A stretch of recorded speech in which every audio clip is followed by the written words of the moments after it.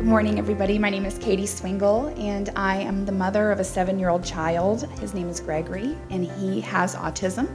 And I just wanted to put a face today um, on Senate Bill 602 and kind of um, let you know how much so far it's helped our family and how I'm really excited about hearing about the possible expansion. We started with kindergarten, and um, within a week, I knew we were in trouble. The school, it wasn't the school's fault. I never will blame the school. Um, Lee County was amazing and they did everything that they could to help me. My child is unique. We're not made of money. Like I said, I had to stop working to stay home with Greg so I could take him to his million therapies.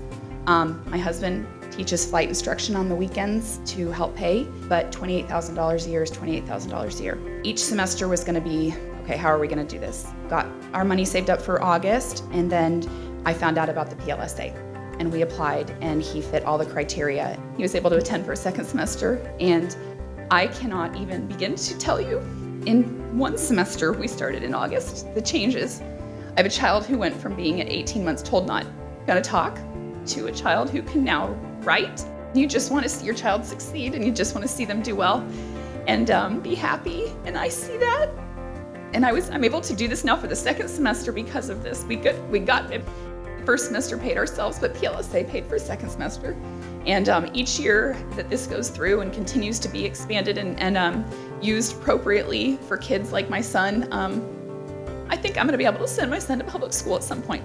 We will probably be out of the PLSA system, I suspect, within the next five years because of it, because I'm at a place where he's getting the help he needs. From mom's perspective in Florida, who is so happy to live in Florida and fought it so much, um, I want the rest of the country to watch this because the rest of the country should be watching.